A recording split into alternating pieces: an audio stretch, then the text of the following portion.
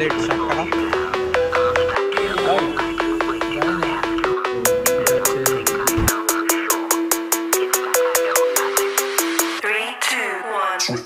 আমি এসে গেছি আসমা ধাবা আর এখানে ট্রাই করছি চিকেন গার্লিক কাবাব। কাবাবে চিকেনের পিসগুলো দেখতে পাচ্ছ।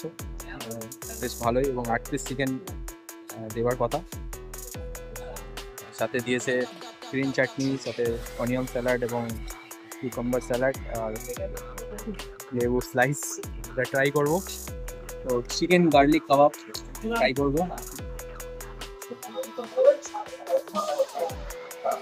খুবই সফট আর আমি এখানে এর আগেও খেয়েছি খুবই ভালো হয় চিকেনটা একদম মানে ওয়েল কুক ফ্লেভারটাও ভালো সাথে এই যে গ্রিল কাটিয়ে দিয়েছে তার সাথে খুব ভালো কিন্তু টেস্ট তাদের মতোই খুবই ভালো তোমরা যদি কখনো বাড়ির উপর আসো, আসমা বা আসমা ধাবা থেকে খাওয়া অবশ্যই ট্রাই করো দাম বলো।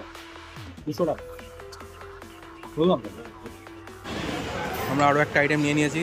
আসমা ধাবা সেটা হলো ফিরনি এটাও এখানের একটা স্পেশাল আইটেম তো ফিরনি এক প্লেট ষাট টাকা। খুবই ভালো খেতে। তো এটা আমরা ট্রাই করব। আসমা ধাবার খাওয়ার পরে আমরা এসে গেছি আরও একটা রেস্টুরেন্ট যেটা বারুইপুরের one of the famous for its kebab তো সেটা হলো আল রেহান, আর এখানে আমরা আপনারা দেখতে পাচ্ছেন কাবাব বিরিয়ানি সবই হচ্ছে।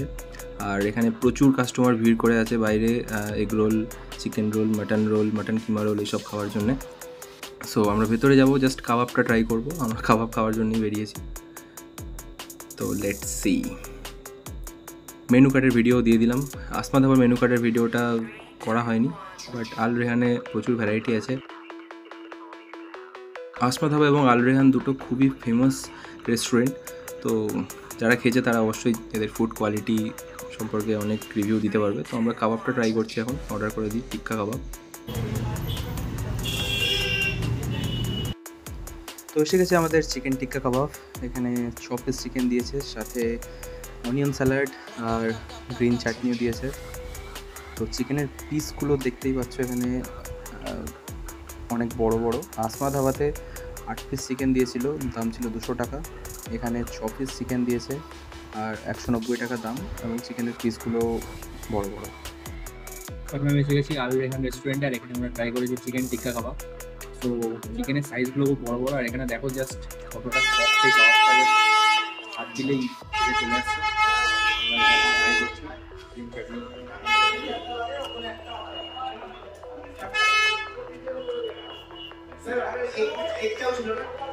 খুবই সফট ফ্লেভারটা খুব ভালো মিক্স হয়েছে। আর বাটারটা খুব বেশি দেওয়া। খেতে খারাপ লাগছে না। ভালোই খেতে। সাইজগুলো খুব বড়ো বড়ো। ছ পিস চিকেন দিয়েছে। দাম হচ্ছে একশো নব্বই টাকা। তো আমি যদি আসো বলে আনে কাবাব ফ্রাই করতেই পারো। কাবাবটা কতটা সফট দেখো। দিয়ে ছেড়ে চলে আসছে। আর খুবই বাটারি তো এটা হচ্ছে মাটন ফ্রাই কাবাব আমরা ট্রাই করব আল রেহান রেস্টুরেন্টে ফ্রাই কাবাবের মাটনের পিসগুলো কিমা সাইজের থেকে।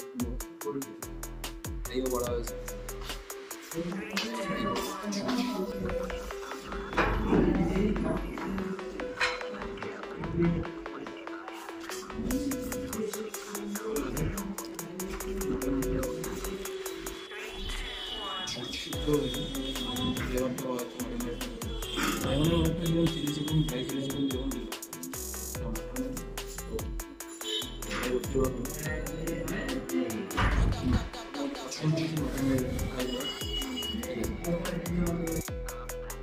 তো আমরা যে কটা খাবার ট্রাই করলাম তার মধ্যে একটা আলটিমেট রিভিউ যে আসমা ধাবা এবং আল রেহানি দুটো রেস্টুরেন্টই খুব ফেমাস এখানে বিভিন্ন আইটেম পাওয়া যায় রিজনেবল প্রাইস এবং টেস্টি তো এই সবকটা খাবারের মধ্যে আমার আল রেহানের চিকেন টিক্কা কাবাবটা বেস্ট লেগেছে, যেমন সফট তেমনই জুসি আদারওয়াইজ সেকেন্ড হচ্ছে আসমা ধাবার চিকেন রেশমি কাবাব দেন যেটা থার্ডে সেটা হলো মাটন ফ্রাই কাবাব তো মাটন ফ্রাই কাবাবটা ভালো বাট মাটনটা ঠিক মানে মাটনের সাইজ অনুযায়ী প্লাস মাটনটা আমার মনে হলো আরেকটু বেশি সফট হলে বেটার হতো।